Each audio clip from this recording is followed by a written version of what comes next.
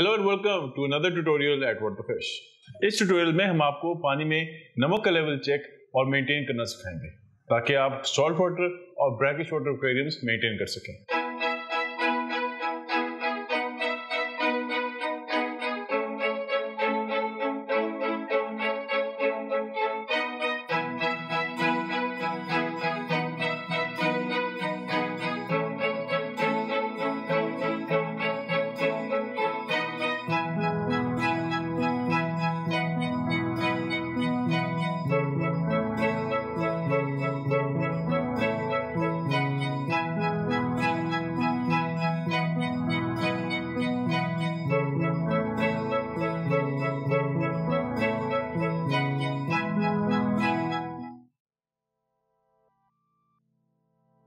Salt water और brackish water tanks में नमक का एक बहुत इंपॉर्टेंट रोल है।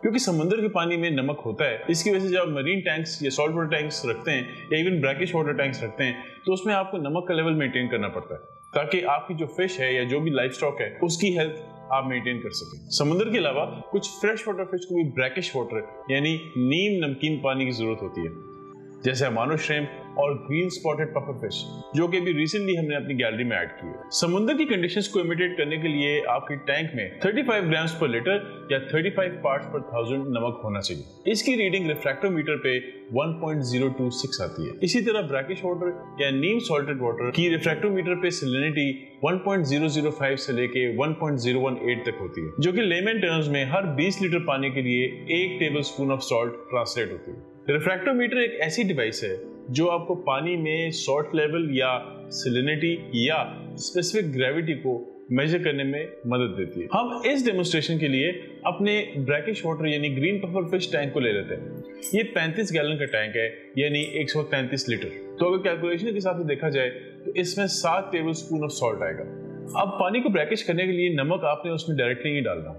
आप एक अलग कंटेनर लें जिसमें आप थोड़ा सा पानी डालें और उसके अंदर सात टेबल स्पून नमक के डाल के अच्छी तरह मिलाएँ ताकि वो घुल जाए। उसके बाद वो पानी आप अपने टैंक में आहिस्ता आहिस्ता डाल दें। कुछ देर पानी को सर्कुलेट होने दें और उसके बाद रिफ्रैक्टोमीटर से उसकी रीडिंग लें। रीडिंग लेने के लिए रिफ्रैक्टोमीटर के साथ दिया गया ड्रॉपर लें और टैंक में से कुछ पानी ड्रॉपर के ज़रिए उठा लें। फिर रिफ्रैक्टोमीटर को खोल के उसकी स्क्रीन के ऊपर एक ड्रॉप पानी के डाल दें। और रिफ्रैक्टोमीटर की स्क्रीन को बंद कर दें। अब रिफ्रैक्टोमीटर की आईपीएस को अपनी आँख से लगाएँ और स्क्रीन का जो एंड है, वो किसी ब्राइट लाइट की तरफ़ मोड़ दें। आपको ये स्क्रीन नज़र आना शुरू हो जाएगी और इसके ऊपर आप अपनी रीडिंग देख सकते हैं। ब्रैकिश वाटर के लिए याद रखें कि आपकी रीडिंग 1.005 से 1.018 के बीच में होनी चाहिए। अगर रीडिंग इससे नीचे है तो आप सॉल्ट थोड़ा सा और ऐड करें। अगर रीडिंग इससे ऊपर है तो आप थोड़ा सा और पानी इसमें ऐड कर दें। ये तो था ब्रैकिश वाटर का सेटअप अगर आपने सॉल्ट वाटर एक्वेरियम बनाना है तो उसके लिए आपको काफ़ी सारा नमक डालना पड़ता है। क्योंकि उसके लिए आपको रीडिंग 1.026 की चाहिए होती है। ये उसकी मिनिमम रीडिंग है। सॉल्ट आपको किसी भी पेट स्टोर से मिल सकती है, और उसके ऊपर उसकी डोजेज भी लिखी होती है कि एक गैलन में कितना सॉल्ट डालना होता है। वैसे जैसे मैं आपको बता चुका हूँ 35 ग्राम एक लीटर में होना चाहिए, या 35 पार्ट्स पर थाउज़ेंड जो होता है, वो होना चाहिए।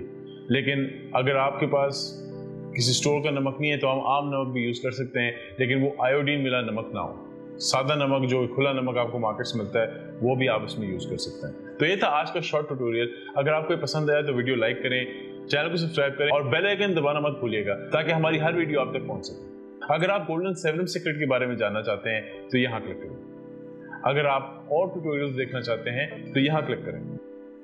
यहाँ आप देख सकते हैं एरवाना फ़िश की डॉक्यूमेंट्री और अगर आप साइंस डॉक्यूमेंट्रीज देखना चाहते हैं तो इस चैनल को सब्सक्राइब करें। आज के लिए इतना ही। मिलते हैं अगली वीडियो में। तब तक के लिए टेक केयर एंड बाय